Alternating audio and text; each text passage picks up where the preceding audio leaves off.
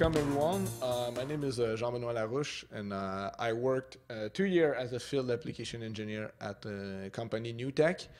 And uh, now I'm uh, in partnership with Nutaq doing my master degree um, yeah, education at the Laval University LTRS. And my goal today is to show you how all the model-based design flow can help you to speed up your algorithm development.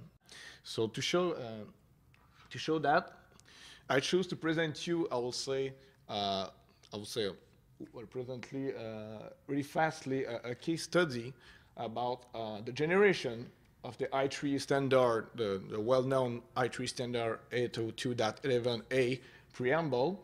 So we'll start for for um, at first by the generation of that preamble. And after that, we'll design how uh, should we detect such a preamble, which is uh, important in OFDM to the block uh, uh, to, de to, decode the block boundary uh, of an OFDM packet. And after that, I will show uh, how we can move, in fact, to a real-world application when you have a, actually real processor like an FPGA, like the card we have here. And I think the main point for me is going to be to show you how we can easily make a move from an M code to a system generator model like Louis-Philippe explained, and to, to have some kind of bridge and tools to, to help debug and to make, uh, also the transition to uh, an FPGA HDL world uh, really, I will say, um, flawlessly. So uh, and I'll be yeah I'm gonna uh, explain a little bit about the preamble at first. After that, we're gonna see a simple M-code simulation, and uh, after that, we're gonna see the model and how the tools uh, can help us to debug, uh, debug and develop um, really fast uh, such application.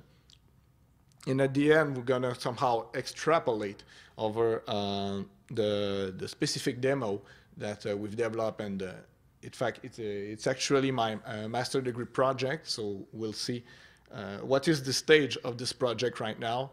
And uh, in fact, the beautiful thing out of it is that everything can run on a, on a big Virtex-6 FPGA, but uh, I didn't write any uh, single line of HDL code, which is uh, the big advantage here. so at first, in the IEEE specification, the PLCP preamble is mainly used for synchronization.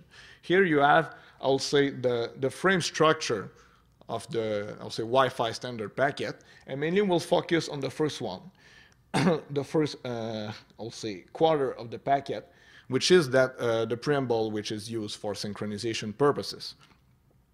So mainly, that's uh, that uh, that packet that that packet uh, line here is made of 10 sequence which are periodic.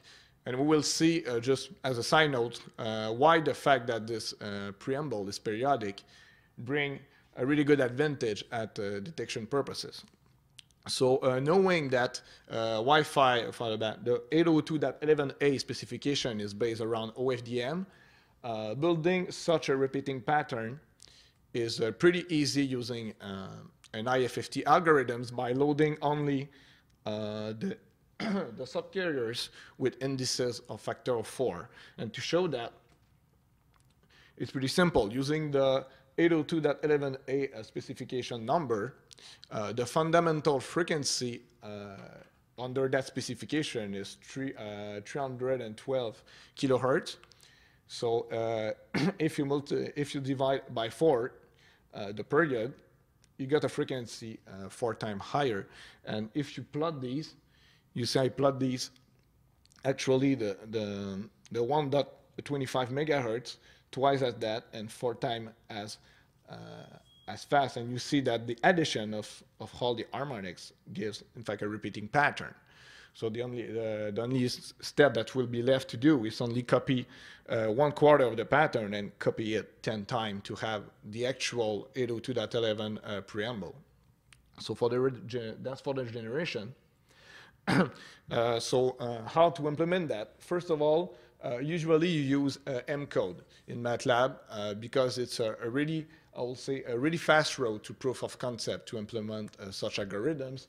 Since uh, you got floating point algorithms, but you got also a big, complete digital processing library with all the functionalities like additive Gaussian noise or digital filterings or FFT, some kind of application, and also it's really easy to debug with graphs, with plots, with a step-by-step -step instruction in your code. So it's really easy uh, path to do that. But the, I will say, after that, when your goal is to implement it in a real-world processor like a, a, an FPGA, uh, there are some things that the M code actually uh, cannot do, which is, uh, first of all, the M code is not ready for an FPGA application because the FPGA need a VHDL code. So we know that at some point, if we have our proof of concept, we'll need to do some kind of transition from the M code to the HDL code.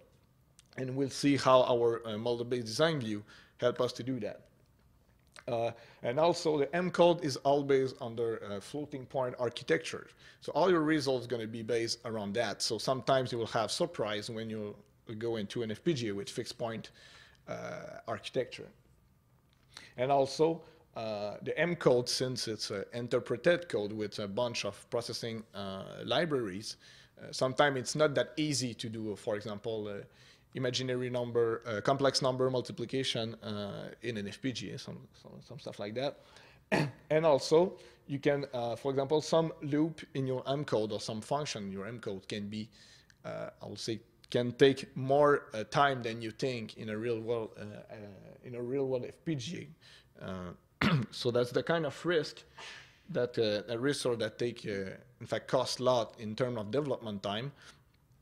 And the model-based design help a lot to reduce these these risks as high as possible. So for example, let's uh, retake the generation of our preamble here. The code is pretty simple.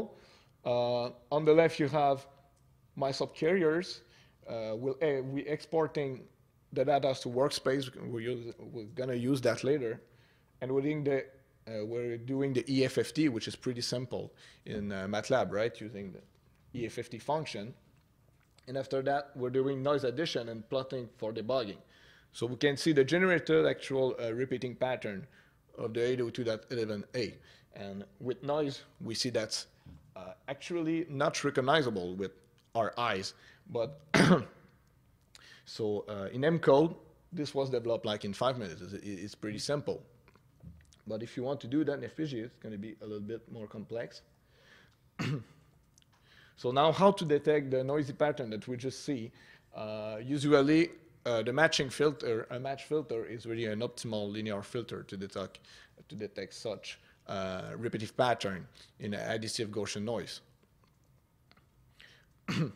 So just to show you, uh, the match filter, uh, like uh, maybe a lot of people you know, it's only to do the convolution of the inverse of the impulse response of the actual repeating pattern that we want to detect.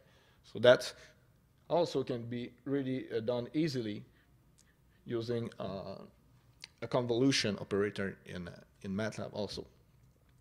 So on a side note, maybe on a, on a learning note, I'll say you see that the fact that the pattern is repetitive bring a really uh, a nice shape with really peak, which adds up uh, uh, if you have more uh, pattern. For example, I had four pattern, four repetitive pattern, and now I got four distinctive peak.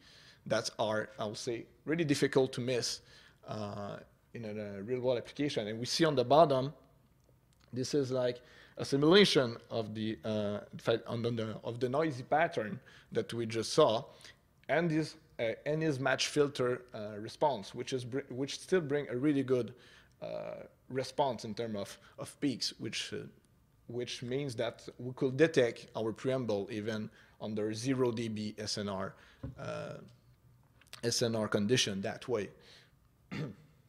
so now let's say that my proof of concept is good. I generated a preamble and I detected in, my, in, M, in, M, uh, in the M code, and it was pretty easy. Uh, now the move that we need to make is to somehow generate some HDL code to implement it in an FPGA, uh, in an FPGA platform. And the tool that we are using and that, that I use actually is uh, Simulink, with system generator block set, which uh, Louis-Philippe introduced you. so what is the advantages of such uh, a way to generate our HDL code? First, uh, to me, it looks like the shortest uh, road to a complete bitstream generation. So I'm talking about not only the HDL code, but also uh, taking care of the constraint, of the latency issue, the timing issue, and also to generate the final bitstream. Just, uh, I will say, uh, ready bitstream in head, uh, in hand way to go. And another big advantage, like we will see, is that uh, the Xilinx uh, generator, uh, system generator tools actually provide uh, simulations with cycle through and device specific uh, results, which mean that you will have a lot less uh, problem, I will say, to debug timing problems and latency problems in your algorithms, since you can spend and you simulate that in your model already. So another time saving tool there. And the fact, a big, I will say, tools for debugging is the fact that you can use actual Simulink graphical debugging environment uh, to help you with that. So uh, some kind of plot is really always really much uh, easier to debug. And the coexistence between the Simulink block set and the system generator block set brings a lot of, also of tools which helps during uh, the development process. so this is the model which implement the two main algorithms that we saw earlier, the IFFT to generate the pattern and the match filtering, which will actually uh, decode our specific preamble. Uh, they are, these one are like below the some models that I will show in the next slide. But just from the top model, I want to show a really uh, big feature of this is the coexistence of the links between Simulink and system generator it's not look like big, but these small white blocks here are Simulink blocks which are from wax, a workspace blocks. These blocks are pretty useful because the data that I use for my simulation, we'll see, is the actual data from the M code I generated, which means that I can do some kind of bridge between my M code that I use and that actual model for simulation so uh, which uh, which actually help a lot to make the that bridge between uh, the both architecture.